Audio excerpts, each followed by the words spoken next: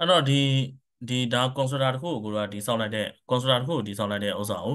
နမူနာရှင်းပြတာပေါ့နော်အဲ့တော့တကယ်လို့ဒါအခုဒါဒီဒီဘက်မှာကိုကတကယ်ခုနခုနဒီ constructor ပေါ့ constructor ကိုကိုတို့ပြန်တည်ဆောက်လိုက်မယ်ခုနအတိုင်းပေါ့နော်အဲ့တော့အဲ့အဲ့တော့ဒီဘက်မှာ PUBLNC ကဘာရေးတာ PUBLNC public C ကကားဆိုပြီးလာပေါ့နော်ပြီးသွားလို့ဆိုရှင်ကိုခုနပြောတယ်အဲ C ကကား sorry COL ကကား လားတော့ဒီ constructor ကဒီ property တွေကို direct ပြန်ခေါ်လို့ရတယ်နော်အဲ့ဒါတစ်ချက်သတိထားနော်ဒီ property ကိုသူ direct ပြန်ခေါ်တာပြောရ wrap ပေါ့ဒီလိုလာမယ်ပြီးသွားလို့ရှိရင် wrap မဟုတ်ခုနပြော blue ပေါ့နော် blue ပေါ့ဒီလိုလာမယ်တကယ်လို့ပြီးသွားလို့ရှိရင်ကိုတို့ကနေပြီးတော့ဘာရှိလဲဆိုတော့ speed speed equal to 10အဲ့လိုလာအဲ့ပြောချင်တာကဘာလဲဆိုလို့ရှိရင်ကျွန်တော်တို့ကကျွန်တော်တို့ကဒီဒီ data ကြီးကို ဒီ data ကြီးကိုဒီလိုမျိုးကြီးအသေးထဲရမှာလားဆိုတော့မေးခွန်းမျိုးပေါ့နော်အဲ့လိုအဲ့လိုမေးခွန်းမျိုးရှိရဆိုတော့အဲ့တော့မဟုတ်ဘူးအဲ့ data မဟုတ်အဲ့တော့အကိုတို့ကဘာလုပ်လို့ရလဲဆိုတော့ဒီ constructor ကိုကိုတို့က parameter သုံးလို့ရတယ်အခုဒီကားဆိုပြီးတော့ဒီလိုခေါ်လို့ရှိရင်တော့ဒီ object ရဲ့ value နှစ်ခုကပါလဲဆိုတော့ blue နဲ့10နဲ့တန်းလာမှာအသေးကြပဲဟိုမဲနေဟိုဘက်ကို link ပို့ပေးလိုက်သေးလားလင်ဟိုကိုပို့လိုက်တယ်ဆရာအေးအေးပို့လိုက်ပြီဆရာ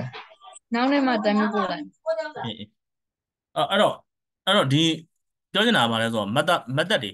ဒီ setter ကဏ္ဍ setter method တွေဒီမှာ setter method တွေလိုမျိုးပဲသူကဒီ constructor လဲသူကဒီ parameter လက်ခံနိုင်တယ်ဒီဟာကြီးဒီမှာ round bracket ကိုတည်တန်းလို့ထည့်ပေးထားတာအလကားထည့်ပေးထားတာမဟုတ်ဘူးသူ parameter လက်ခံဖို့အတွက်ကိုလိုထည့်ပေးထားတာဒီ round bracket ကို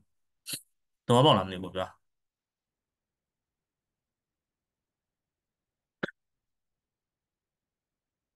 ဟယ်လိုအဲ့တော့ဒီ parameter လက်ခံဖို့တော့ကိုတို့ကလက်ခံပေးတာအဲ့တော့ဒီမှာ ဒီ setter method လိုပဲသူက parameter လက်ခံလို့ရတယ်အဲ့တော့ဒီနေရာမှာကိုတို့ကနေပြီးတော့ color ဆိုပြီးပေးလိုက် COL လောက color ပြီးသွားလို့ရှိရင် SPE the speed အဲဒီလိုမျိုးလေး parameter လက်ခံလို့ရတယ်အဲ့တော့အာပါတော့ Java ရဲ့ပြဿနာပဲဒီဘက်မှာဒီဒီလိုမျိုး parameter ကြီးကျင်ညာမယ်ဆိုလို့ရှိရင်အဲ့ parameter ရဲ့ type ကြီးကျင်ညာပေးရတယ်နော်အဲ့ဒီဘက်မှာဆို color ဆိုလို့ရှိရင် string string ပို့ပြီးကျင်ညာပေးရတယ်ဒါဆို in ပေါ့အဲ့ဒီလိုကျင်ညာပေးရအဲ့တော့ဒီ color ဒီဒီ အဲ့မှာပြောနေတာကဘာလဲဆိုတော့ဒီဒီ color ဒီဒီဒီဒီဒီဒီ color ဒီတော့ဒီထဲကိုဝင်ရပါဘော constructor ထဲကိုဝင်မှာထားပါတော့ဒီထဲကိုဝင်မှာ new color လို့ပေးလိုက်မယ်ဟောနော်ပြီးသွားလို့ဆိုရင်ဒီမှာလည်းအကိုတို့ကနေပြီးတော့ new speed speed လို့ပေးလိုက်အရေးကြီးရနော်ဒီ constructor ကအရင်ရေးကြီးရသိလားဟိုဟာလေ တကယ်လို့နားမလည်တဲ့လူတွေရှိတယ်ဆိုလို့ရှိရင်လည်းထပ်ခါထပ်ခါကြည့်ပါနော်သူဘယ်လိုတိစောက်လဲဆိုတာတော့ program က use to မဖြစ်တဲ့ခါကျတော့လေ use to မဖြစ်တော့အဲ့ပြဿနာတက်မှာပဲဒီလားအဲ့တော့ဒီဘက်မှာအကိုတော့ constructor စဆောက်ပြီဆိုလို့ရှိရင်ဒီဘက်မှာဒီမှာ constructor စဆောက်ပြီ parameter ကျင်ညာလိုက်ပြီဆိုလို့ရှိရင်သူကဘာဖြစ်သွားလဲဆိုတော့ဒီမှာခေါ်ထားတဲ့ constructor error တက်ပြီပြောချင်တာကဘာလဲဆိုတော့ဒီမှာ parameter တောင်းထားတယ်ဆိုလို့ရှိရင်အဲ့ဒီမှာစခေါ်ပြီဆိုတော့ parameter value ကိုတစ်ခါတည်းတန်းတောင်းပေးရတယ် နော်အဲ့တော့ constructor နဲ့ setter setter gram method တွေရဲ့ object တိစောက်တဲ့ပုံစံအဲ့ဒါပဲအဲ့တော့ဒီနေရာမှာအကူကဘာဆက်လုပ်မလဲဆိုလို့ရှိရင်ဒီမှာဒီနေရာမှာတော့အကူကအရှင်ဖြစ်သွားမှာပေါ့နော် new color ဆိုတော့ဒီမှာဒီလိုထည့်မယ် speed က new speed ပေါ့အဲဒီလိုဖြစ်သွားအဲ့တော့သူ့ရဲ့လုံးလုံးတော့ပုံစံရှင်းတယ်ဒီထဲကိုဝင်လာတဲ့ဒီထဲကိုဝင်လာတဲ့ value ဒီဒီကိုလာမယ်သူ့ရဲ့လုံးလုံးတဲ့ပုံစံနော်အော်ဒီထဲကိုဒီထဲကိုဝင်လာတဲ့ value ဒီဒီကိုလာမယ်အဲဒီ value ဒီဒီထဲကိုဝင်မယ်ဒီ value ကကြတော့ဒီကိုသွားမယ် အဲ့တော့ဒီထဲကိုဝင်လာမဲ့ value ကဒီကိုလာမယ်နော်ဒီ value ကဒီကိုလာမယ်ဒီ value ကဒီကိုသွားမယ်အဲ့တော့ဟုတ်ပြီဒီထဲကို value တွေကဘယ်အချိန်မှာဝင်မှာလဲဆိုတော့ဟာဒီ constructor ကိုပြန်ခေါ်တဲ့အချိန်မှာတစ်ခါလဲထည့်ပေးရမှာ constructor ကိုဘယ်အချိန်မှာပြန်ခေါ်လဲဆိုလို့ရှိရင် object ဆောက်တဲ့အချိန်မှာတစ်ခါပြန်ခေါ်တယ်အောက်မှာတစ်ချက်သွားကြည့်အောင်ဒီမှာတွေ့လား constructor ကို object ဆောက်တဲ့အချိန်မှာကိုတို့ပြန်ခေါ်တယ်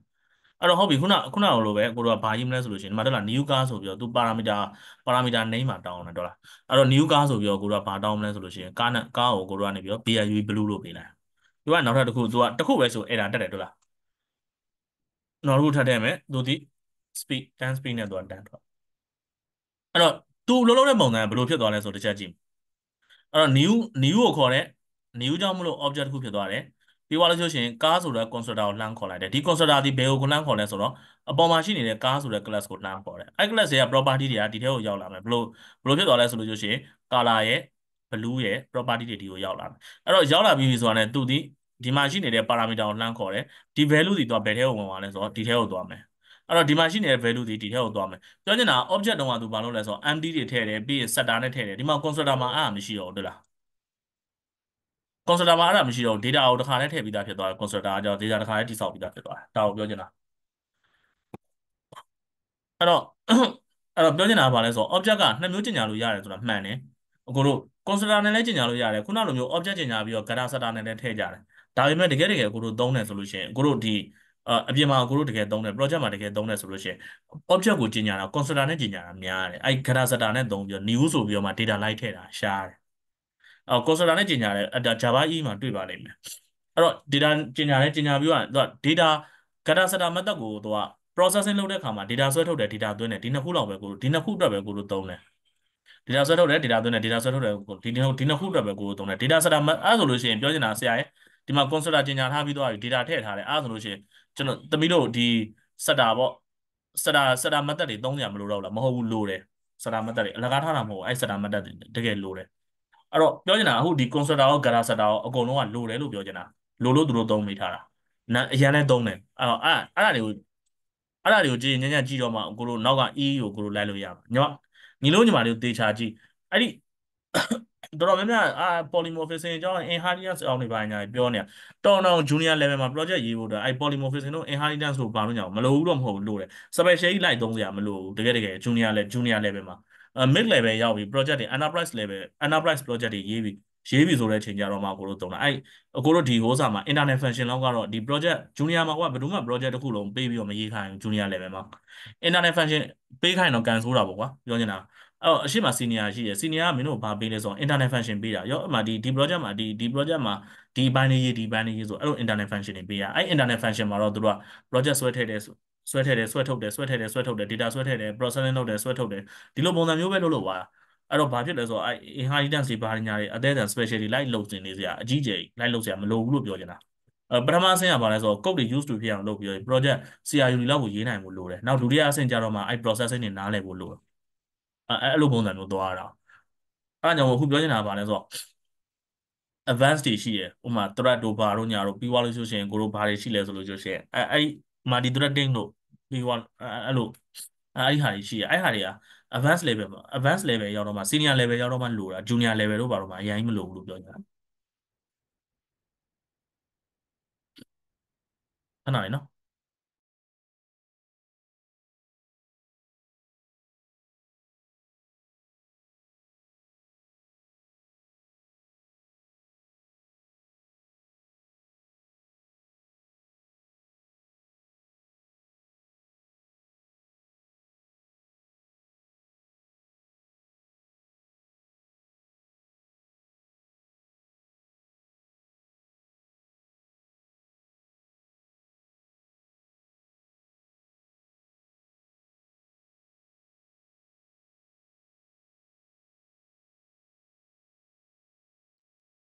ဆိုတော့ဟိုဟိုဖုန်းဝင်လာလို့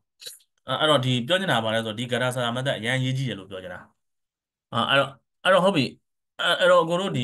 အကိုတို့ဆက်ဆက်ပြီးတော့အကိုနည်းနည်းလေးဆက်သွားဒါက consider တစ်ခုအကိုတို့တိစောက်လိုက်တယ်ပေါ့အဲ့တော့ဒီမှာအဲဒီဘက်ထဲမှာအကိုတို့ကနေပြီးတော့ဒါဒါတခုဒီလိုတိစောက်ထားတယ်ပေါ့ထားပါတော့အကိုတို့ဒါကိုပြန်ဖြတ်လိုက်မယ်ပြန်ဖြတ်လိုက်မယ်ဆိုတော့ပြန်ရေးမှာနော်အဲ့ဒီမှာ consider ကကိုတို့တခုပဲစောက်တာလားဆိုမဟုတ်ဘူးကိုတို့ကြိုက်တဲ့လောက်စောက်လို့ရတယ် အဲ့ဒီဘက်မှာကိုတို့ကနေပြီးတော့ PUPLIC public ဆိုပြီးတော့နောက်ထပ် CAR ကားဆိုပြီးနောက်ထပ်တစ်ခုထပ်စောက်အဲဒီဘက်မှာပြီးတော့ဒီဒီနေရာမှာအဲပြောချင်တာကဘာလဲဆိုတော့ဒီကောင်ဒီသူက default default ပေးတယ်နော်ဒီ consider ဟုတ်တယ်မလားဘယ်အချိန်မှာလဲဆိုလို့ရှိရင်သူ့ထဲမှာဘာ consider မှမရှိတဲ့အချိန်မှာဒီဒီဥစ္စာကို default ပေးပြောချင်တာကဘာလဲဆိုတော့ no parameter no parameter consider လို့ခေါ်တယ်ဒီကောင်ဘာ parameter မှမပါတဲ့အတွက်ကြောင့် no parameter consider လို့ခေါ်တယ်အဲ no parameter consider ကိုသူကဘာပေးလဲဆိုလို့ရှိရင် default အနေနဲ့သူက class ကနေပြီးတော့ Java class ကနေ Java ကနေပြီးတော့အဲသူ class ထဲမှာ default အနေနဲ့သူကထည့်ပြီးအဲအကြောင်းကိုတို့ကဘာဘာ consider မှမစောက်ဘဲနဲ့ကားဆိုပြီးတော့ new ရဲ့နောက်မှာကားဆိုပြီးတော့ဒီလိုမျိုးခက်တီနေနဲ့ခေါ်လို့ရဒါဒါက consider နဲ့ပတ်သက်ပြီးတော့ပြောချင်တာအဲ့တော့အဲ့တော့တကယ်လို့ဒီကောင်ဒီတစ်ခုစောက်လိုက်ပြီဆိုတာနဲ့ဒီ consider ကမရှိတော့ဘူးသူက Java မပေးတော့အဲ့တော့ဒီ no parameter ခေါ်နေတယ်ဆိုလို့ချင်းကိုယ့်အကိုပြန်စောက်ကြတယ်အဲ့ဒါချက်တတိတာ interview မှာအရင်မေးတယ်အဲ့တော့ဒီနေရာမှာကိုတို့ဒီမှာရေးလာအောင်ဒီနေရာမှာကိုတို့ဘာရေးမလဲဆိုလို့ရှိရင် အဲ COL ကကာလာပေါ့ကာလာ equal to ခုနအဲဒီမှာ red လို့ပေးလိုက်နော်ကာလာ equal to red အဲပြီးသွားလို့ဆိုရင်ကိုတို့ကာလာ equal to red ပြီးသွားလို့ဆိုရင် speed speed speed equal to ကိုတို့5လို့ပေးလိုက်အဲ့တော့ဒီမှာဒီမှာကိုတို့ကနေပြီးတော့အဲ့တော့ဒီလိုနှစ်ခုစောက်လို့ရလားဆိုရတယ်ရတယ်မှတ်မိလားမတ်တက်မှာအဲ့လိုနှစ်ခုစောင့်လို့ရတယ်မှတ်မိလား အဲအဲ့ဒီအဲ့လိုမျိုးစောင့်လို့ရှိရင်ကွန်စတာနင်းတူတယ်ဆိုလို့ရှိရင်တူတယ်လေနော်ကွန်စတာနင်းတူလို့ရတယ်ဘာတူလို့မရအောင်လဲဆိုလို့ရှိရင်ဒီကအခုလိုပါရာမီတာတွေတူလို့မရအောင်မှတ်မိလားအဲ့ဒါဟုတ်မှန်ဒီပြီပါပါလေမှတ်မိပါမှတတ်မိယ်နော်ဟုတ်တယ်ဟုတ်တယ်ပဲတော့တယ်ဟိုပါလောက်အဲ့တော့ဟိုသူကပါလို့တယ်ပါရာမီတာပါရာမီတာနင်းတူတယ်ပါရာမီတာနင်းတူလို့မရအောင်ပါရာမီတာအရေအတွက်တူလို့မရအောင်ဟုတ်တယ်နော်အာပါရာမီတာ sorry ပါရာမီတာအရေအတွက်တူလို့ရအဲအဲပြောခဲ့တာအဲ့တော့ပြောနေတာအဲ့လိုအခြေအနေမျိုးမှာပေါ့တော့ဘာလို့ခေါ်လဲအခုလို အဲ့မတ်တက်အဲ့လိုတက် overload တယ်ဟုတ်တယ်တော်တယ်ညီလေးကမတ်တက် overloading လို့ခေါ်တယ်ဒီမှာလည်းအဲ့လိုမျိုးပဲအဲ့ဒါဒီလိုအခြေအနေမျိုးမှာကိုလိုဘာလို့ခေါ်လဲဆို consider overloading လို့ခေါ်တယ်အဲ့ဒါကိုပြောချင်တာတော့နှစ်မျိုးရှိတယ် overloading ရှိတယ် overriding ရှိတယ်အခု overloading ကြောင်းကိုရှင်းပြနေတယ်ဒါကို consider overloading လို့ခေါ်တယ်အဲ့တော့အဲ့တော့ဒီမှာအကိုတို့ကနေပြီးတော့ဒီမှာကြီးညာပြီးသွားရောကြီးညာပြီးသွားရင်ဆိုအကိုတို့ဒီမှာမှာအကိုတို့ကလှမ်းခေါ်တယ်ရောလှမ်းခေါ်ရဆိုလို့ရှိရင်ထားပါတော့ CA ကားဆိုပြီးတော့ ကား1လို့ပြလိုက်မယ် equal to new CA ကားဆိုအဲအဲ့ဒါတော့မတက်တော့အဲ့တော့ဒီကောင်ကဘယ်လိုလုပ်လို့ဝါလဲဆိုလို့ရှိရင်ဒီ constructor ဒီသူကဒီ constructor ဒီ para သူခေါ်တဲ့ parameter ကိုတိုက်စစ်တယ်အဲသူခေါ်တဲ့ parameter ကိုလိုက်ပြီးတော့အဲ့ဒီအဲ့ parameter နဲ့တူတဲ့ constructor ကိုခေါ်ပြီးတော့သူကလုပ်လို့ပါဒီမှာဆိုလို့ရှိရင်သူဘယ်ဟာကိုခေါ်လဲဆိုတော့ဒုတိယမြောက်ဒီ constructor ကိုခေါ်တယ်တကယ်လို့များဒီနေရာမှာက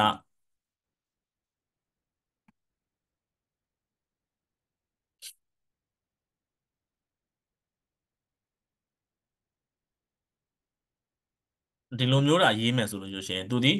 ဒုတိယမြောက် constructor ဒါကိုကိုစဉ်းစားကြမလို့သူကသူလုပ်သွားတဲ့ကိစ္စနော်အားဆိုလို့ရှိရင်အကိုတို့ဒီဘက်မှာတစ်ခုစီထုတ်ကြည့်အောင် test speed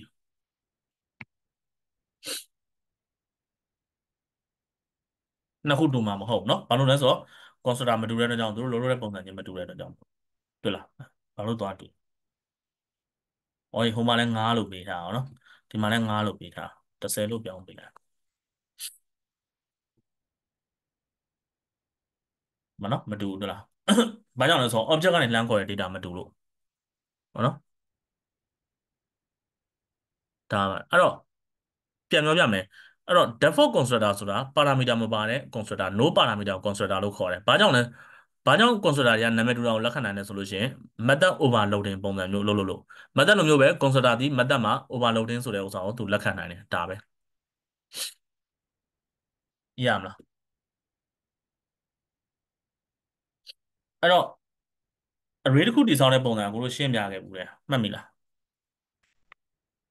အော် array တည်ဆောက်မယ်ဆိုလို့ရှိရင်ထားပါတော့ array တစ်ခုတည်ဆောက်မယ်ဆိုလို့ရှိရင် integer array တည်ဆောက်မယ်ဆိုလို့ရှိရင် int ဆိုပြီးတော့အဲဆို nu က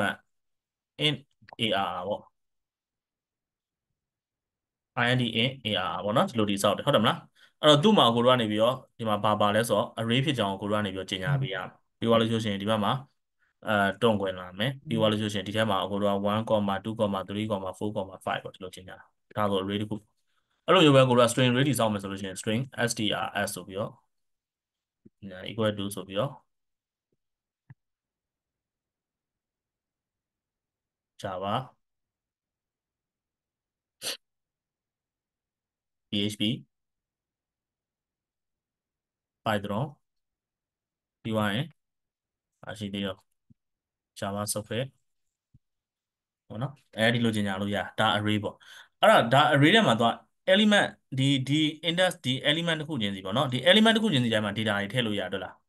အားဆိုလို့ရှိရင်ဒီမှာတိစောက်ထားတဲ့ကားဆိုတဲ့ကောင်တွေရောပေါ့နော်ကားတို့ဘာလို့ဒီလဲ object ပဲဒီဟာတွေကတော့ဘာလဲဆို parametric data type တွေရဲ့ value တွေ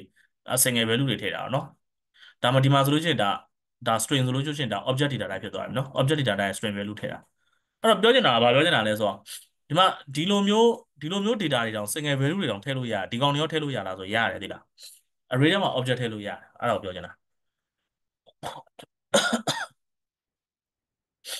အဲ့တော့ ဥပမာတစ်ခုပြောပြမယ်ကွာ student ပေါ့မင်းတို့မင်းတို့ student object တစ်ခုတည်ဆောက်တယ်မလား student object တစ်ခုတည်ဆောက် student object တစ်ခုတည်ဆောက်တယ်ဆိုလို့ရှိရင် student မှာ student ဒီကျောင်းသားတစ်ယောက်ဒီပုံမှန်အဖြစ်ဘာသာရပ်ကိုလေ့လာမယ်ဆိုဘာသာရပ်၃မျိုးလောက်လေ့လာအကိုတော့အဲ့မှာအကိုတော့ဘာရေးလဲဆိုတော့ subject ဆိုပြီးတော့ subject ဆိုပြီးတည်ဆောက်တယ်ဒါဆိုလို့ရှိရင်ဒါနမူနာပြောပြအနည်းဆုံးတော့သူကဘာဖြစ်မလဲ subject ၃ခုလောက်တော့ပါမှာပေါ့ဒါကိုပြောချင်တာပေါ့နော်အဲအဲ့လိုပုံစံမျိုးပေါ့အဲ့တော့ student student object အဲ့အဲ့လိုပုံစံမျိုးပေါ့ subject တွေပါအဲ့အဲ့လိုတည်ဆောက်ရတာပေါ့နော်ဒါကိုတစ်ချက်ပြောပြအဲ့တော့ဒီမှာကိုတို့ဒီနမူနာအနေနဲ့ကိုလို student object တစ်ခုတည်ဆောက်ကြည့်အောင်အဲ student object တစ်ခုဘယ်လိုတည်ဆောက်မလဲဆိုတော့ဒီအောင်ဖြတ်လိုက်မယ်နော်အဲ student object မှာဘာတွေပါမလဲဆိုတဲ့ဥစ္စာကိုကိုတစ်ချက်စဉ်းစားကြည့်မယ်အရင်ဆုံးဒီ class လည်းမလို့တော့ဖြတ်လိုက်အဲ့တော့ student object တစ်ခုမှာဘာပါမလဲဆိုလို့ရှိရင်ကျောင်းသားရဲ့ name ပါမယ်ပြီးတော့လို့ရှိရင်သူဘာလေးလာနေလဲအဲ သူဘာလေးဘာသူ့ရဲ့သူက Java ဆိုရှင် Java department ပေါ့ class ပေါ့နော်အဲ့တော့ class name ပါမယ်ပြီးတော့လို့ရှိရင်ဒီကိုဘာပါမလဲဆိုလို့ရှိရင်သူ့ရဲ့အဲ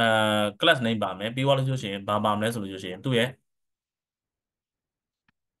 name ရယ် class name ရယ်ပြီးတော့လို့ရှိရင်သူ့ရဲ့ roll number ပါနော် roll number ပါမယ်ပြီးတော့လို့ရှိရင်ကိုတို့ဘာပါမလဲဆိုလို့ရှိရင်သူလေ့လာတဲ့ subject တွေပါအဲဒီလေးခု အာဒါအခုဒီလေးခုကိုကိုတို့ကနေပြီး student class တည်ဆောက်ဖို့အတွက်ဒီသုံး property တွေသုံးမယ်ဟောဒီလေးခုနော်အဲ့တော့ property နဲ့သုံးမှာအဲ့တော့ student အဲ့ဒီမှာကို subject ပေါ့ဒီ subject ကိုကြတော့ကိုတို့ကဘယ်ရလာမလဲဆိုလို့ရှိရင် array ကနေလာ array နဲ့လာမှာပေါ့ subject အော်သူလေးလာမယ်ဆိုဥပမာသူဆိုကြပါစို့ကွာသူက class တိုင်းမှာသူက front front ကိုလုံး front ကိုလေးလာနေရလား back end ကိုလေးလာနေရလားကိုတို့ကစဉ်းစားမယ် front မှာဆိုလို့ရှိရင်လေးလာစရာအများကြီးပဲလေ subject 3 5ခုလောက်ရှိရ back end မှာဆိုလို့ရှိရင်လေးလာစရာ3 5ခုလောက်ရှိအောင် အဲအဲ့လိုပုံစံမျိုးပေါ့အဲ့တော့ကိုတို့ကနေပြီးတော့ဒီလိုဒီလိုစဉ်းစားကြည့်မှာပေါ့အဲအဲ့တော့ iOS ကိုကိုတို့ကစစဉ်းစားကြည့်မယ်အဲ့တော့စမယ်စမယ်ဆိုကိုဘယ်လိုစစစစအောင်လဲဆိုလို့ရှိရင်အရင်ဆုံးကိုတို့ကနေပြီးတော့ student နော် CLS class ဆိုပြီးတော့ STUDENT student ဆိုပြီးတော့ကို class ကိုတည်ဆောက်လာပြီးရင်သူထဲမှာဘာရှိလဲဆိုတော့ student ID ပေါ့ ST STU အဲအဲ့တော့ student ID ပါမှာဆိုတော့ student ID အဲ့တော့ဒီ student name ပါမှာပေါ့နော်အဲ့တော့ student name ဆိုပြီးတော့အခုတော့စတည်ဆောက်မှာအဲ့တော့ဒီမှာ data ဖြစ်တဲ့ကြောင့်မို့ကိုတော့ဘာဘာတည်ဆောက်မလဲဆိုတော့ PR PRI VAD private ဆိုပြီးတော့ဟုတ်ပြီနော် name ဖြစ်တဲ့ကြောင့်မို့ string ဆိုပြီးတော့ NAME name ဆိုပြီးပေးလိုက်တော်လိုက်တာနော်ဟုတ်တယ်မှန်တယ်မှန်လားစိတ်ထဲကနေ line ဆောက်နေကြတာနော်သိတယ်အဲ့နောက်တစ်ခုကကြောက်ပါလဲဆိုတော့ name ပြောရလို့ဆိုလို့ရှိရင်ကိုတို့ဘာရှိမလဲအဲ့အဲ့တော့ class name ပေါ့နော်အဲ့တော့ PRI VAD private string string CLAS class NAME class name ဆိုပြီးဒီလိုဖြစ် ပြောရ row number row number ကတော့ကိုလို1 2 3 4ဘာလို့ပေးမှာဆိုတော့အဲ PIVD private and in our row anyone b anyone ဆိုပြီးတော့ row number ပဲအဲ့မှာ subject အဲ့တော့ subject မှာကိုတော့ဘာတွေထည့်မလဲပေါ့ subject မှာကိုတော့အဲသူကဘာရှိမလဲဆိုလို့ရှိရင်သူက subject i အဲဒီထဲမှာအကို subject ပေါ့နော်ဒီ subject ထဲမှာကိုတော့ဘာရှိမလဲဆိုလို့ရှိရင် subject ရဲ့ ID ရှိမယ်ဒီမှာလည်း student ID ရှိမှာပေါ့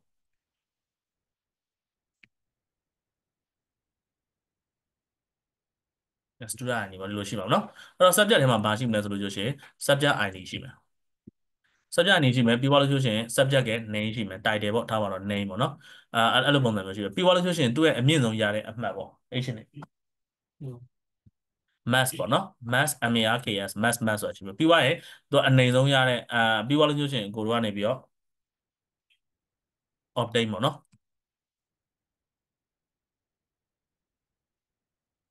အာ obtain ဆိုပြီးတော့အဲ့လို၄မျိုးရှိပြီနော်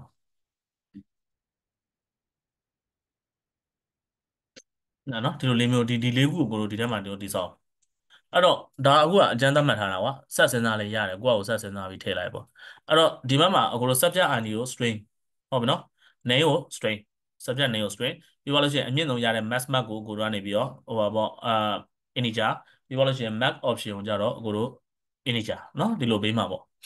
အဲ့တော့အခုဆက်စဉ်းစားမှာဘာလဲဆိုလို့ရှိရင် getter setter method တွေပေါ့အဲ့တော့ getter setter method တွေကဘာလဲဆိုတော့ရှိသမျှ property တွေရဲ့ data တွေအကုန်လုံးကိုပြန်ယူမှာဆိုတော့အကုန်လုံးရေးကိုရေးရမယ် getter setter property တွေနော် setter method ကတော့ကိုပြန်ပြင်ကိုပြန်ပြင်ဟော setter method ကတော့ကိုပြန်ပြင်စရာမလိုတဲ့ property တွေအတွက်ရေးစရာမလိုဘူးလို့ပြောလို့ဒါပေမဲ့အကိုကတော့ရေးတယ်ပြန်ပြင်စရာမလိုလဲရေးတယ်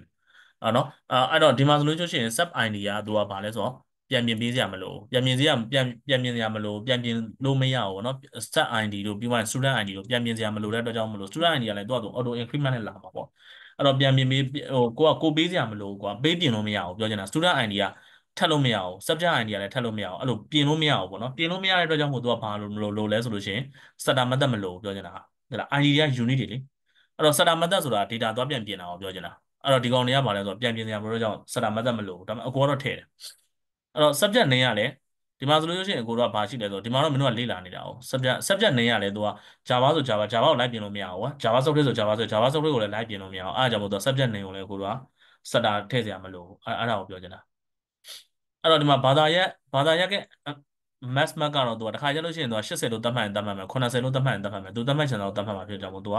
စက်တာထည့်ပေးရမှာပေါ့ math option ပေါ့ math option ကလည်းသူကကျောင်းသားရမှတ်ဖြစ်တဲ့အတွက်ကြောင့်မို့လို့ အဲ opt-in ကိုပြောတာ sorry math opt-in ကလည်းသူကကျောင်းသားရမှတ်ဖြစ်တဲ့အတွက်ကြောင့်မို့လို့သူကပြန်မြင်နေတယ်ဆိုလို့ရှိရင်ပြန်မြင်ရင်ပြန်မြင်ရမှာပေါ့အဲကြောင့်မို့သူကစက်တာ method ကိုသူကထည့်ပေးရပြောချင်တာကဘာလဲဆိုတော့ kata စက်တာ method တွေကိုဒီလိုတိစောက်တာအဲ့တော့အခုကိုလို constructor နဲ့ပတ်သက်ပြီးဆက်စဉ်းစားမယ်အဲ့တော့ subject subject ဆိုတဲ့ဒီ subject ဆိုတဲ့ subject ဆိုတဲ့ object တစ်ခုတိစောက်ရင်အဓိကဘာတွေလိုမလဲပေါ့အဓိကလိုမဲ့ဟာတွေကိုစစဉ်းစား အဓိကလိုတဲ့ဟာတွေကပါတယ်အဲ့ဒီအဓိကလိုတဲ့ဥစ္စာတွေကို constructor parameter တွေနဲ့မှာကိုလိုထားမဖြစ်မနေတော့လိုမှာဆိုလို့ရှိရင်အဲ student အဲ subject sorry subject id လိုမယ်ပြီးသွားလို့ရှိရင်ကိုလိုဒီအဲ့တော့ဒီ subject id လိုမယ်ပြီးသွားလို့ရှိရင် subject name လိုမယ်အဲ့တော့ subject ကြီးပဲတိစောက်ထားမယ်ဆိုလို့ရှိရင်တော့ဒီနှစ်ခုပဲလိုမှာပေါ့နော်အဲ့တော့ mass mark ကတော့သူက optional ပဲလိုလဲရမလိုလဲရထည့်ရင်လည်းရတယ်ပေါ့အဲ့လိုပုံစံမျိုးပြောချင်တာအဲ့တော့ကိုတို့ထားပါတော့ဒီဒီ student အတွက်ကိုတို့စစပြီးစဉ်းစားမယ် ဒီ subject အတွက်ကိုတို့ဒီ subject ဒီဒီထဲမှာကိုတို့ကနေပြီးတော့ subject စရေးတော့မှာပေါ့နော် subject စရေးတော့မယ်ဆိုတော့ဒီ class ထဲမှာကိုတို့စခေါ်မယ် CLAS class ဆိုပြီးတော့ SUB JECT subject ဆိုပြီးကိုတို့စပေးနားလည်လားမသိဘူးပြောတာဟိုနည်းနည်းဟိုနည်းနည်းဟိုဟို project နဲ့နည်းနည်းလေးຫນွယ်လာပြီဆိုတော့လေအဲစာပြန်ကြည့်ပါနော်အဲ့ဒါပဲပြောချင်တယ်အော် subject ဆိုပြီးပေးမယ် subject မှာကိုတို့ student subject ID ပေးမှာပေါ့နော်အဲ့တော့ subject ID ဆိုပြီးတော့ပေးမှာဆိုတော့ PIVD private ဆိုပြီးတော့ အဲ private string string ပြီးသွားလို့ရှိရင် SUB JECT subject ID ဒီလိုပေးမှာနော် PIVD private ပြီးသွားလို့ရှိရင် string string name name ဆိုပြီးဒီလိုပေးမယ်ပြီးသွားလို့ရှိရင်အဲ PIV private ဒီကတော့ ink ဆိုပြီးတော့ MAX mass MARKS mass mass ဆိုပြီးပေးမယ် PIVD private in ပြီးသွားလို့ရှိရင် MARKS အာ OP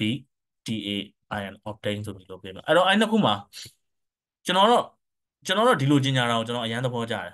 ကျွန်တော်သဘောကျတာကိုပြောပြတာနော်အဲ့တော့ဒီလိုနှစ်ခုမှာကျွန်တော်ကပေါင်းကြီးညာလို့လည်းရတယ်သိလား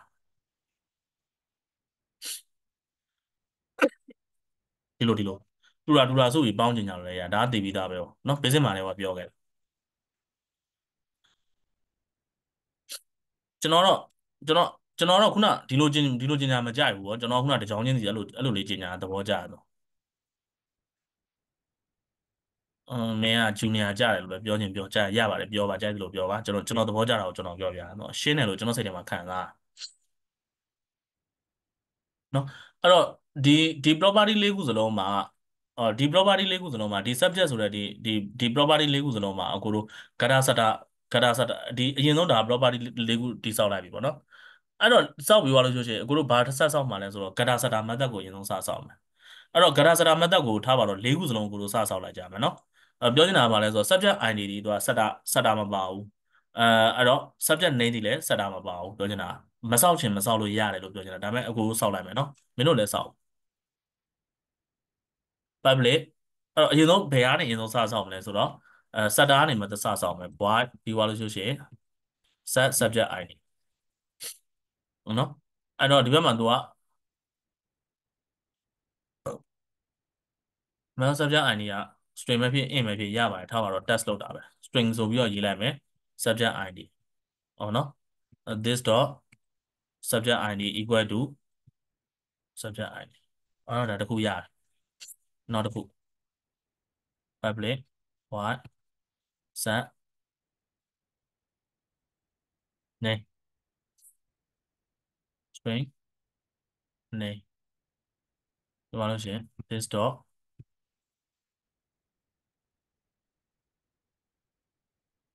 နော် နှစ်ခုရပြီအဲ့တော့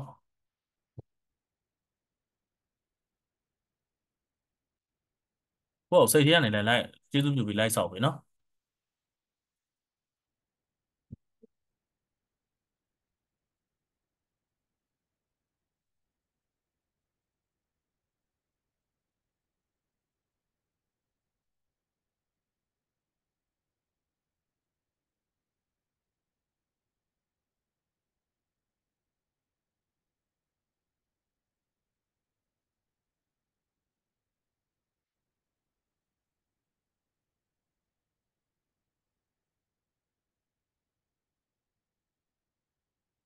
ဒါဆိုလို့ရှိရင်ကျွန်တော်တို့ဘာရသွားလဲဆိုတော့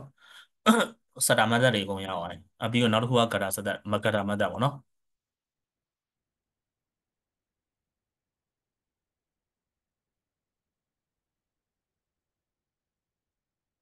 တော့မလို့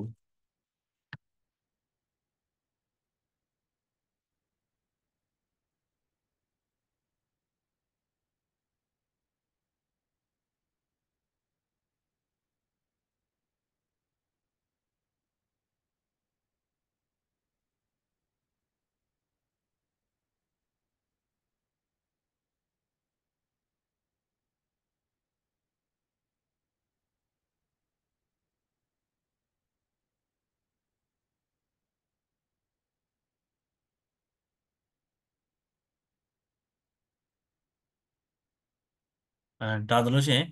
စတာဂရာ method တစ်ခုလုံးရပါတယ်မနော်ဒါဆို object object တစ်ခုစာအတွက် sub ဒီ subject အတွက် object တစ်ခုစာအတွက်ဟိုလို class တစ်ခုတည်ဆောက်လုပ်ပြီးသွားပြီပေါ့နော်ဟုတ်ပြီကိုတို့ constructor ဆောက်မယ် constructor ဆောက်မယ်ဆိုတော့ဒီ subject မှာကိုတို့က constructor ကိုကိုတို့အများဆုံးအပြင်တော့ဒီ constructor ကိုဘယ်နေမှာစောက်ကြလဲဆိုလို့ရှိရင်ဒီ fees တွေနဲ့ method တွေကြားမှာကိုတို့စောက်တာများပါတယ်။နေကြိုက်တဲ့နေရာမှာစောက်ပါပြောချင်တာအ များဆုံးအပြင်စောက်ကြတာကိုပြောတာပါနော်။အဲ့တော့ဒီနေရာမှာဒီနေရာမှာကိုတို့ကဒီ fees တွေနဲ့ fees တွေအောင်မှာ constructor စဆောက် constructor ဒီ public public ပြီးသွားလို့ဆိုရှင် constructor နိုင်လာအဲ့တော့သူကအော်အရင်ဆုံးကိုတို့ဘာဘာစောက်မလဲဆိုလို့ရှင် subject id ရဲ့ name ရဲ့ mass mark ရဲ့ပါတဲ့ constructor တခုကိုတည်ဆောက်မယ်အဲ့ဒါဆိုလို့ရှိရင်ဒီဘက်မှာဘာသုံးလဲဆိုလို့ရှိရင် string string subject id ပြီးသွားလို့ရှိရင် string string name name ပြီးသွားလို့ရှိရင် int int mass map ဟုတ်ပြီနော်အဲ့တော့ဒီဘက်မှာ number 2နေတွေ့လား number 2နေဆိုလို့ရှိရင်အဲ့အဲ့ဥစ္စာလိုမျိုးပဲ method လိုမျိုးပဲเนาะအဲ့လိုသုံးရတယ် this dot ဆိုပြီးတော့ this dot subject id equal to subject id เนาะအတူတူပဲเนาะဒါ method အထူးထူးရှင်းပြကြမှာလို့ this dot အဲပြီးသွားလို့ဆိုရှင် name equal to name this dot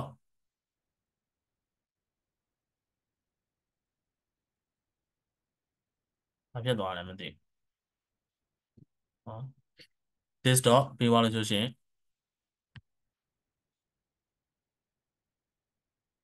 mass map mass map equal to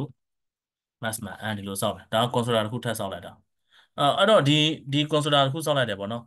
အဲ့တော့ဒီဒီမှာပြောရရှိတာဒီ this keyword ပေါ့ this keyword ဘာလဲဆိုလို့ရှိရင် property name နဲ့ parameter name ကတူတဲ့အတွက်ကြောင့်မလို့ဒီ this ကမထည့်လို့မရဘူးတကယ်လို့မထည့်ဘူးဆိုလို့ရှိရင် မထည့်ဘူးဆိုလို့ရှင်ဘာဖြစ်မလဲပေါ့နော်မထည့်ဘူးဆိုလို့ရှင်ခုနခုနတော့မပြောခဲ့ဘူးမထည့်ဘူးဆိုလို့ရှင်မထည့်လို့မရဘူးတော့ပြောခဲ့ခုနအဲ့တော့မထည့်ဘူးဆိုလို့ရှင်ဘာဖြစ်မလဲဆိုတော့မထည့်ဘူးဆိုလို့ရှင်နှစ်ခုစလုံးတွေတော့ဘယ်ကို refer လုပ်လဲဆိုလို့ရှင်ပါရာမီတာနင်းကို refer လုပ်တယ်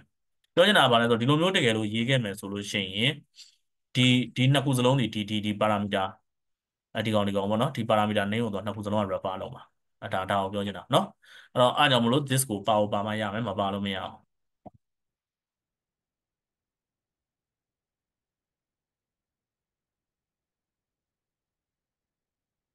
ဟုတ်ပြီနော်အဲ့တော့အဲ့တော့ဒီ this က current object ကိုညွှန်းတယ်ဆိုတဲ့အကြောင်းလည်းကျွန်တော်ပြောခဲ့ပြီးပါတယ်ဒါ setter method တွေပေါ့နော်အဲ့တော့အဲ့တော့ဒီနောက်တစ်ခုကကျတော့ဒီကျွန်တော်ဒီ operation method ဒါဟု gata setter method ပေါ့နော် gata setter method ပြီးသွားလို့ဆိုရှင်ကျွန်တော်ဘာထပ်ဆောက်လဲဆိုလို့ရှိရင် operation method ကိုကျွန်တော်ထပ်ဆောက်ဖို့လို့ operation method ကဘာလုပ်မှာလဲဆိုလို့ရှိရင် operation method ကဘာလုပ်မှာလဲဆိုလို့ရှိရင်ဒီ student ကျောင်းသားရလာတဲ့အမှတ်တွေဒီအဲသူကဒီဥစ္စာပေါ့နော်သူဒီ maximum အမှတ်ပေါ့ဗျာ maximum အမှတ်ထက်များမယ်များမယ်ဆိုလို့ရှိရင် तू က qualify ဝင်တယ်လို့သတ်မှတ်မယ်နည်းတယ်ဆိုလို့ရှိရင် qualify မဝင်ဘူးလို့သတ်မှတ်ပါပေါ့နော်အဲအဲ qualify ဝင်တယ်မဝင်ဘူးဆိုတဲ့ method တခုကိုကျွန်တော်တို့တည်ဆောက်မယ်ထားပါတော့ maximum အမှတ်ဒီ तू က85မှတ်အဲ85ဆိုဂုံလို့ထွက်တယ်ပေါ့86လို့89လို့ဆိုလို့ရှိရင် तू က qualify ဝင်တယ်ပေါ့ဒီလိုသတ်မှတ်ပါပေါ့နော် အဲနောက်တစ်ခုကကြတော့အဲ့တော့နောက်တစ်ခုကကျတော့ဗာလဲဆိုတော့ရှင် method တစ်ခုကကျတော့ student တွေရဲ့အမှတ်တွေကိုကျင်ညာပေးရ method ကိုရေးရမှာအဲအဲ့နှစ်ခုကိုကျွန်တော်ရေးပေးရဟုတ်လားအဲ့တော့ तू က तू ကကျွန်တော်ဒီမှာဘယ်လိုရေးမလဲဆိုလို့ရှင်ဒီ subject ထဲမှာပဲကျွန်တော်ဆက်ရေးမယ်နော်အဲ့တော့ဒီ gata sata method တွေရဲ့အောက်မှာကျွန်တော်တို့ gata sata method တွေရဲ့အောက်ဆုံးမှာရေးရအဲဒီမှာကျွန်တော်ရေးအရင်ဆုံးကျွန်တော်ကဘာရေးမလဲဆိုလို့ရှင်အဲ method တစ်ခုတည်ဆောက်မှာ is ဆိုပြီးတော့ to u ali f ied qualify ပေါ့နော်အဲ့တော့ဘာလာမှာလဲဆိုတော့အမှတ်တွေလာမှာဆိုတော့ int int ဆိုပြီးတော့ m ဆိုပြီးတော့ဒီလိုလာမှာတင်လားအဲ့တော့ဒီ method ကဒီ method ကတော့ဘာလဲဆိုလို့ရှိရင်ဒါ method ဗျာအဲ့ဒီ method ကဘာလဲဆိုလို့ရှိရင် public ပဲ public public ခေါ်လို့ရတယ် public ဆိုပြီးတော့ခေါ်ပြီးတော့သူကဒီဒီအမှတ်တွေကျွန်တော်တို့ကကျွန်တော်တို့ကဘာ return ပြန်မှာလဲပဲစဉ်းစားပေးရမှာ RETU က return ပေါ့နော် return ဒီသူကဘာလဲဆိုလို့ရှိရင် and return ဘာပြန်မှာလဲဆိုတော့လက်ရှိ integer ဆိုတဲ့ဒီ integer ဆိုတဲ့ and ပေါ့နော်ဒီ and value ဒီ greater than or equal ကြီးနေမယ်ဆိုလို့ရှိရင်ဘယ်လိုထက်ကြီးနေမှာလဲဆိုလို့ရှိရင်ကျွန်တော်တို့လက်ရှိ maximum အမှတ်ထက်ကြီးနေမှာဆိုဒီ maximum အမှတ်ကိုခေါ်လိုက်ရတယ်လားဘာလို့ဒီ maximum အမှတ်ကိုခေါ်လို့ရလဲဆိုလို့ရှိရင်ဒီမှာလေး class တစ်ခုထဲမှာတိစောက်ထားတာဖြစ်တဲ့ကြောင့်ခေါ်လို့ရကြီးနေမယ်ဆိုလို့ရှိရင်သူကဘာ return ပြန်မလဲဆိုဒီကောင်ကဒီမှာလေးဒီကောင်ဒီ comparison operator တွေကဘာ return ပြန် boolean return ပြန်တာမလားအဲ့တော့ကျွန်တော်တို့ဒီနေရာမှာဘာရေးလဲဆိုတော့ public ရဲ့နောက်မှာ boolean boolean ဆိုပြီးတော့ကျွန်တော်တိစောက်ဒါဆိုလို့ရှိရင် method တစ်ခုတိစောက်လို့ပြီးသွားတယ် ကျန်တာမမီတော့ဘူးမမီတော့ရဖြစ်တဲ့ကြောင့်ကျွန်တော်ဒီမှာရက်မယ်နောက်တစ်ပတ်မှာပြန်တွေ့မယ်အားလုံးပဲဘိုင်ဘိုင် bye ဘာမရှင်း